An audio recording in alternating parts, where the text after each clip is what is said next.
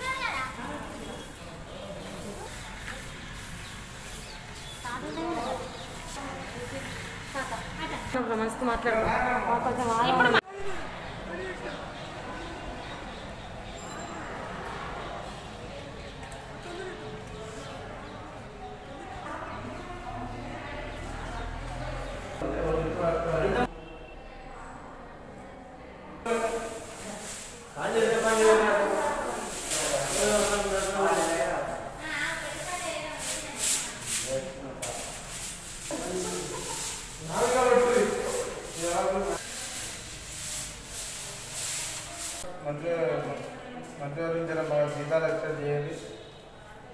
ఎనిమిది లక్షల ఇరవై ఐదు వేల రూపాయలు రావాలి మన జీతాలు. మీరు ఏరియస్తో సహా రెండు సంవత్సరాల జీతాలు రావాలి. మాకు ఇప్పి రాష్ట్రంలో అన్ని ఎన్నో అభివృద్ధి పనులు చేస్తున్నారు. అందరికీ జీతాలు పెంచారు అందరికీ మంచిగా చేశారు మా జీతాలు కూడా ఇప్పింది పోతే మా పిల్లలు రోడ్డు మీద పడే అవకాశం ఉన్నది. అందుకొద్దే ఎందుకు మళ్ళా? అవునాగో బడ్జెట్ లెటర్ పంపిస్తాను మా వచ్చినాక నీకే ఇస్తాం.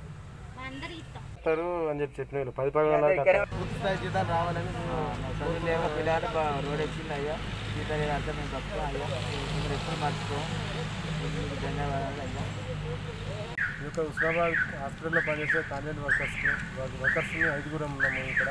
మూడు షిఫ్ట్లుగా ప్రతిరోజు పనిచేస్తున్నాము. మాకు గత రెండు వేల పదకొండు నుంచి ఏరియాస్తో సహా ఇప్పుడు ఇప్పుడు ప్రజెంట్ వరకు జీతాలు రావాలి.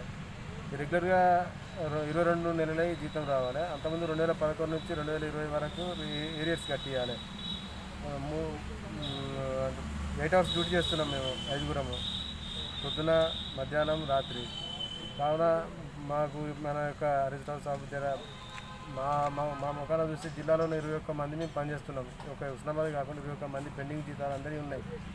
కావున మా అన్ని అన్ని రకాలుగా మన రాష్ట్రాన్ని అభివృద్ధి పరుస్తున్నారు. మాకు కూడా తగిన న్యాయం చేయాలి. మా జీతాలు ఇప్పించి మాకు తగిన పనులు కల్పించాలని మేము కోరుకుంటున్నాము.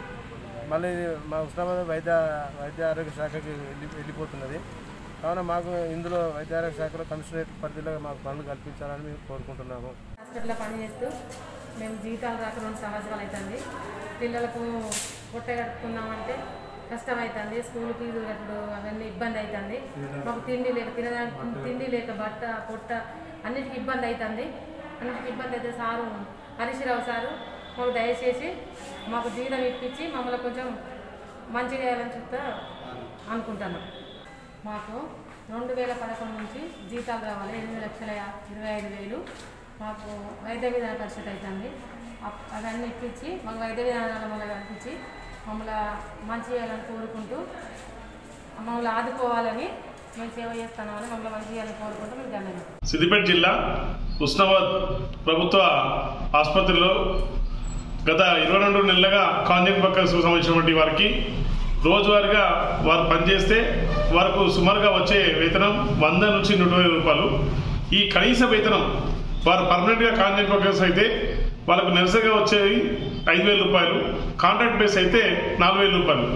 ఈ కనీసం ఉన్నటువంటి జీతాలు కూడా చెల్లించలేనటువంటి పరిస్థితిలో ఉందా ఈ తెలంగాణ రాష్ట్ర ప్రభుత్వం అని చెప్పి సూటిగా అడుగుతున్నాం ఎందుకంటే ముఖ్యమంత్రికి సంబంధించినటువంటి సొంత జిల్లా రాష్ట్ర ఆర్థిక మంత్రి హరీష్ రావు గారు ఈ జిల్లాగా మంత్రిగా వివరిస్తున్నారు ఇటీవలే వారు నాలుగు నెలల మూడు నెలల కింద ఆరోగ్య శాఖ మంత్రిగా కూడా బాధ్యతలు చేపట్టడం జరిగింది. అయితే ఈ కాంజెంట్ వర్కర్స్ సంబంధించినటువంటి సమస్యలు ఈ జిల్లా వ్యాప్తంగా ఉన్నాయి. జిల్లా వ్యాప్తంగా మొత్తం ఇరవై ఒక్క మంది ఈ కాంజెంట్ వర్కర్స్ ఉంటే అందులో ఐదుగురు ఉస్మానాబాద్ ప్రభుత్వ ఆసుపత్రిగానే గత ఇరవై రెండు నెలలుగా కనీసం వీరికి వేతనాలు కూడా రాలేదని చెప్పని ఇక్కడ ఉన్నటువంటి వర్కర్స్ వారు బాధపడుతున్నారు. గత కరోనా కాలంలో లక్షలాది రూపాయలుగా జీతాలు పొందుతున్నటువంటి వారే బండికి సంబంధించినటువంటి ఈఎంఐల విషయంలో కానీ ఇంటికి పన్ను ఇంటికి సంబంధించిన ఈఎంఐల విషయంలో కానీ అప్పులు కట్టడానికి కూడా తీవ్రమైనటువంటి ఇబ్బంది పడుతున్నటువంటి ఈ కరోనా ఈ తరుణంలో ఈ చాలీ చాలని జీతాలతో బతుకుతున్నటువంటి వారి పరిస్థితి ఏ విధంగా ఉందని చెప్పని స్థానికంగా ఉన్నటువంటి ఎమ్మెల్యే గారు కూడా దృష్టి సారించాలి.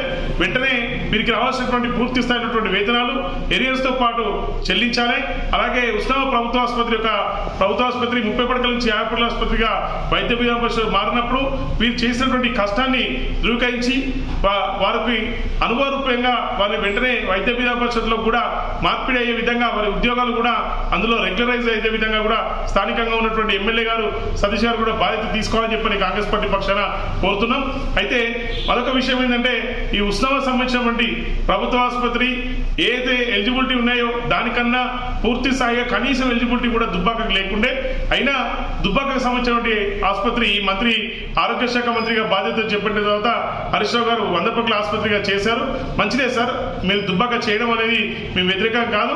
సమకాలికంగా ఇదే జిల్లాకు సంబంధించినటువంటి వారు మీకు గజ్వేల్లో సూపర్ స్పెషాలిటీ హాస్పిటల్ దుబ్బాకు ఒక వంద పక్కల ఆసుపత్రి సిద్దిపేటకు ఒక వంద పక్కల ఆసుపత్రితో పాటు ఒక ప్ర- ప్రైవేట్ మెడికల్ కాలేజ్. మరి ఉస్మాన్ యొక్క సంబంధించినటువంటి ఏమికు మాకు దౌర్భాగ్యం అని చెప్పి ఇవాళ మంత్రి హరీష్ రావు సూటిగా అడుగుతున్నాం.